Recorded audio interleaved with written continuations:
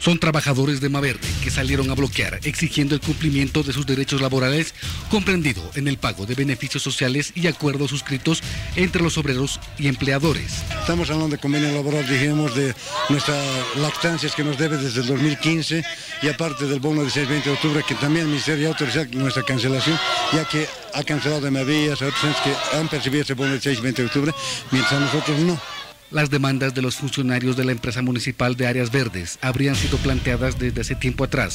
y al no encontrar respuesta a las mismas determinaron radicalizar sus medidas de presión hasta llegar a las últimas consecuencias con tal de que se respete sus derechos laborales. Y hemos tomado hoy día la, determinación de hacer un paro de brazos caídos,